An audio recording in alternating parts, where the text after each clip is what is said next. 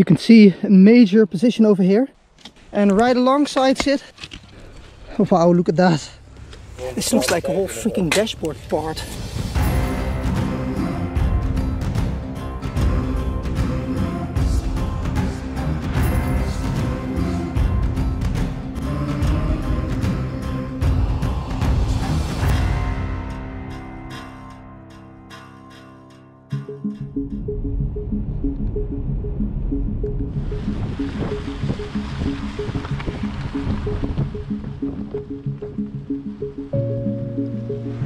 Time to get going.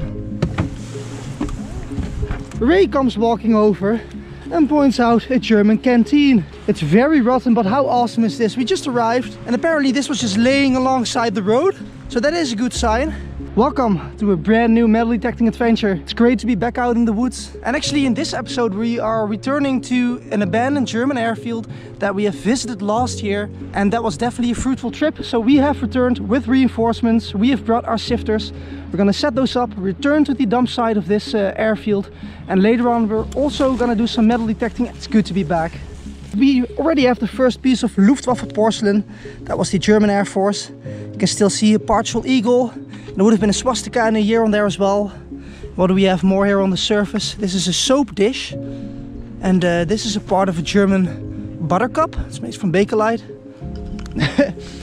yeah, I think the sifter is to serve us well today. And there we go. That's the start of our new metal detecting adventure. Let's see what the sifter can do.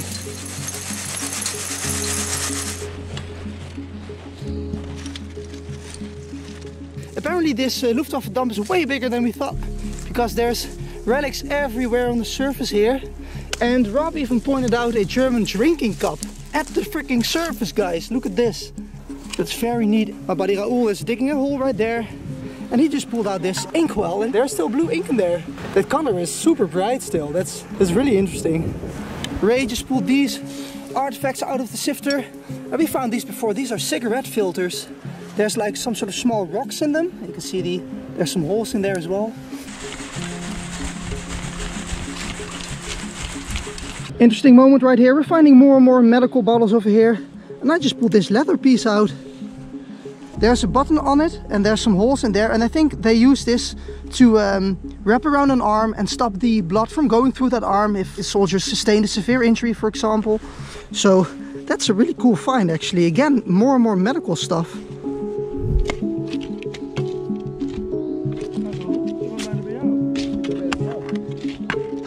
Think we're onto a really good spot here. My buddy Raoul just dug up this, well he says it's an ashtray apparently.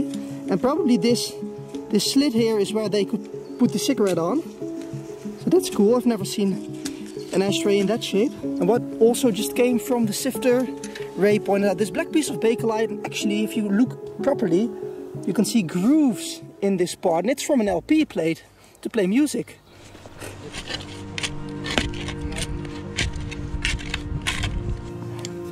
Look at that, I just pulled this piece out and the eagle and swastika are clearly visible. It's just a piece, but you know, with these clear stamps, that's history right there, guys. All right, I was called over by my buddies, Jeff and Rob, and they told me that they found some sort of pin for on the shoulder board, she said. I'm not sure. See the pin? Yeah, clear pin on the back. Clear red color as well. Mm -hmm. I'm not really sure what type of uh, like rank insignia this was. I think it's fabric. There's fabric around it, the yeah, red. The, the, red stuff is fabric.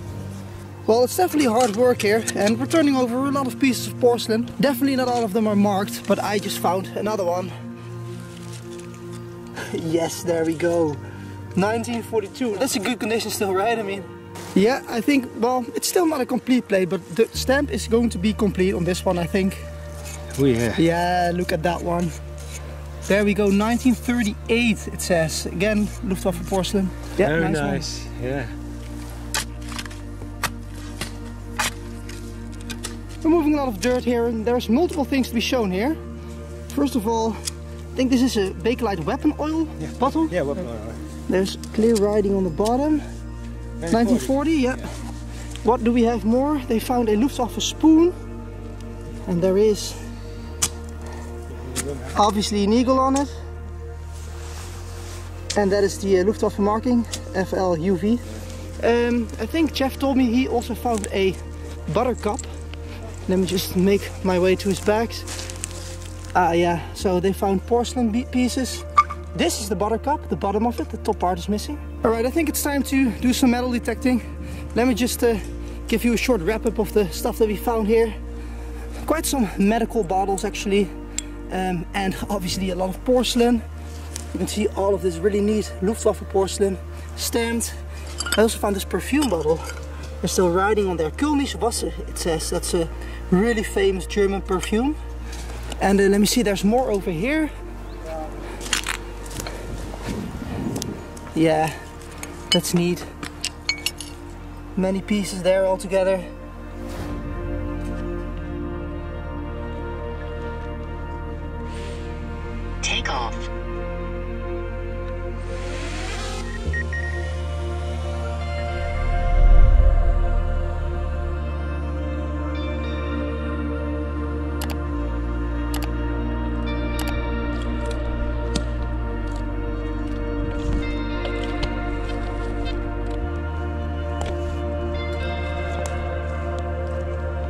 Well, I got my first interesting find with the metal detector. Just dug it out. Look at this. It's a rifle clip and I've never found this particular type before. And the funny thing is, this is not German, this is not American. I think this is actually Italian uh, from the rifle called Carcano. So, well, that's the first one for me. And again, like last time, we found evidence of the Italian troops that served alongside the German soldiers here. This would be even more evidence. We just stumbled upon a World War II position. And as you can see, Rob is digging there on the side. And we are both finding relics. Um, well, first of all, I found some batteries. Um, and then in the dugout, I found another live round and another one of those weird rifle clips, which I believe they are Carcano Italian. So maybe we should move our sifters into this dugout because let me just take you along here so that you can hear what I hear. There is signals everywhere here. What's also interesting to point out, I already found two tags here. One says Unklar, I'm not sure what that means. And one is a number. So we should really look carefully here. Yeah, you can basically really dig everywhere here. I just dug this wall out and there's rifle rounds everywhere here and glass. Not sure what that was. That's crazy. Yeah, so the news has spread as you can see. I'm not alone anymore. Everybody's helping out. And since there's signals everywhere, we, we, can also just dig everywhere. And the next thing that I just pulled out here, this is a part of a Mauser K98K uh, bayonet scabbard. So let's see if the other part is still here. Unfortunately it's broken, but it's still a very cool find. So we're finding more and more of these colored tags and actually this one has a date on it. It says 15644, probably 1944. And I just dug this one out. And the bottom word says Flugzeug, which means airplane in German. And the top word I cannot read. But uh, since we are digging on the perimeter of a military airfield from the German Luftwaffe, it does make sense that we're finding uh, aircraft related relics. And right in this edge here, I just noticed this and I'm quite sure that this is a German flare casing, but let's find out together. There we go. See if we can make that writing clear. I think oh, we can. Look at that. 1942 is clear as day, guys. Here are the finds again. Not sure what this is, but they call this a normograph and it almost it almost looks like they use this to like draw letters on some surface. And also I found this airplane part it says Berlin there in the middle of the screen. We found more and more of those name tags. Look at this one. It says Staffel. I think that meant crew in German. Staffel means squadron, which is a unit of military aircrafts and their aircrew. It usually consists of 12 to 24 aircrafts and is sometimes divided into 3 or 4 flights. We are not sure, but maybe these color tags were used to locate or move troops on a tactical board. Oh yeah, and I found the missing pieces of the puzzle of the K98K bayonet scabbard. So as you can see the pieces fit together perfectly. And uh, yeah, unfortunately the bayonet is not here. It was cool to find this uh, complete scabbard. I think the guys found something pretty. So uh, let's go over to them, see what they found. Jeff over there in the back just found some cockpit parts from a German airplane. We got those right here. And there's actually some writing on this as well. 30 kilohertz yeah, maybe radio, radio frequency, some radio material then. Right, let's make my way towards Jeff again because he's killing it with those cockpit parts. We just found, what is this, like a computer or a clock from the cockpit of the... Cockpit, yeah. Oh, well, the glass part is still intact. We don't really see any numbers, right? No. That's cool. Oh, wow, look at that. Het is ook diep geen ding nou. This looks like a whole freaking dashboard part. This is some sort of meter. There's numbers there on the on the edge.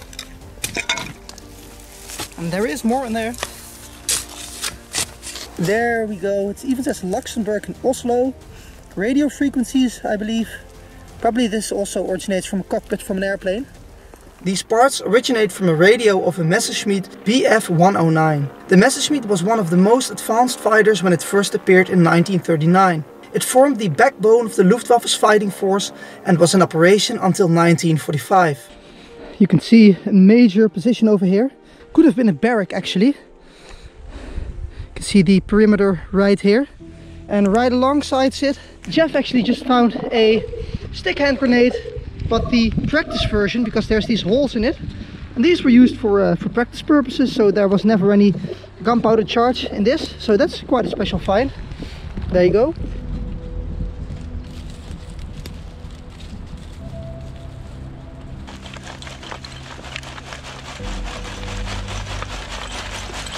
Jeffrey found something that is recognizable for me at least perhaps also for my frequent viewers Look at this, it's a name tag. This has been placed on a storage locker or something similar. And it says Oberth. So this is the, the last name of a, a German soldier. It's a really personal find. And yeah, since it's made from plastic, you would not find this with a metal detector. But since we are digging in a dump, you can expect these kind of relics. Can't get enough of our work and want to see more? Bonus scenes from this episode are now available on Patreon. Rob and Jeff have another one of these Bakelite bottles. First I, I, said it was weapon oil, but actually this is a substance to decontaminate weapons, actually, from uh, poison attacks. One of the things to find in dumps like this on my list are uh, beer mugs, like the big half liter German beer mugs. And uh, well, Jeffrey found a couple right now. There's one already right there. And it's almost complete. And there's two more there, I think he said. Yeah. Is this one complete? Oh. Yeah, it's complete. and the handle oh, is missing. No, it's, it's complete. Well, that's sad. Unfortunately, we cannot merge these two together to make a complete one, but the fourth one, wow. We haven't really found any WHW badges yet in this dump, but we usually do, as you might know by now. And Rob just pulled out the first one after quite some hours of digging in this dump. It's a glass one, we found those before as well. Not this particular type. Did you say there was a swastika on there as well? There on top you can see the eagle with swastika. I haven't seen this particular one before. As you can see, we're working alongside each other right now. And I'm standing with Ray here at this sifter. So Rob found one WHW badge somewhere over there. We are digging there right now. And look right there, what do we see? We have another glass WHW. And interestingly enough, there were so many of these WHW badges. But this is again one of those glass ones. Let's see if you can see what sort of landmark is on there. It looks like a castle, right? That's that's a really pretty version. That's a new one for me. Yeah, yeah. I also don't think I've seen that one before, this particular type. That's a beauty, man. Happy with that one. What did you just find, Rob? Belt buckle? Yeah. Plate's missing, but Yeah, there's nothing on it. It's an aluminum version. We should brush this up and see. Mm-hmm. Oh, you can see the yeah, details. Yeah. yeah. There's usually on Wehrmacht equipment there's this clear pattern of dots on it. As you can see, everybody's gathered up right now because Ray just shouted, I got a shoulder pip and it's a really, really nice one. Well, you gotta really look carefully to see it. Let me just zoom in for you a little bit. There, there we go. Wow, that is a really pretty one. So this was placed on the shoulder to indicate the rank. The more a soldier had on his shoulders, the higher the rank would be. Well, my buddy Rob just pulled a very special button out of the sifter and we don't know this particular type. Let's see if we can discover more when we clean it. There we go, there is writing on there. It's quite difficult to read, but maybe we can do a Google search. Right, so Rob just pointed out that this button actually says New Zealand I don't think the Australian army was here to be honest, but that's that's really weird. What is that button doing here? We're on the Western Front to be precise, so it would be really interesting if soldiers from New Zealand were here. New Zealand army? Yeah. New Zealand forces. Well, maybe we can find out what they did exactly in the war and I'll make sure to post that information right here. We found out that New Zealand provided personnel for service in the Royal Air Force, also called the RAF. This Allied Air Force took over the airfield when the German army abandoned it. Probably this is why pilots from New Zealand were here. And there we go. No need to point it out. Here are the, uh, the barracks where the pilots have been residing that flew on this airfield. So now it's just foundations, but uh, there were definitely some buildings here. And there's many, many of these kind of structures in this forest, making it a very interesting historical place.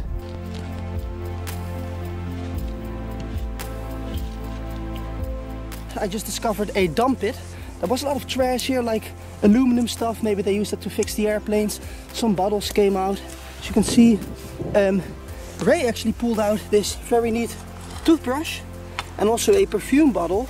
I think this is again the Kölnisch Wasser, the very famous German perfume. But guess what? Look at this edge here. That's a plate. And we, we haven't found a complete plate yet, so we really hope this might be it. Let me just get you down there. We're gonna expose this together because I already spotted a very little eagle down there. Let's see what we're gonna encounter here. Yeah, yeah, yeah, yeah, it's gonna be one, it's gonna be one. Will this be the first complete piece? Look at that, guys. There we go, it's seeing sunlight again for the first time. Well, I can already see, this plate is from 1941, so it's quite old. So let's see, is this a complete plate? I really hope so. I cannot believe this, we've dug up so many broken porcelain pieces. Are you guys ready? Oh, we got a complete plate, guys. We did it. that is a really awesome find. Really happy with that one. Well, if there's one, maybe there's more. so yeah, the dump is getting bigger and bigger. More objects coming out. Bottle with some. There, the, uh, the paper is all still intact. You can still read that. And we found this civilian cup, which is quite a funny one because it says der Hausfrau, which means the housewife. I don't know, what do you think? Maybe I should bring this home to my girlfriend and surprise her? Right, the hole is empty. We're uh, backfilling it. Really a nice little dump hole. The bags are packed. We're going home. I'm really happy that we returned to the Luftwaffe airfield. Thank you all for watching, especially my patrons. Your name will appear on the screen right now. If you want to get an exclusive look behind the scenes, make sure to check us out on Patreon. I hope you enjoyed the video. See you next time. Cheers.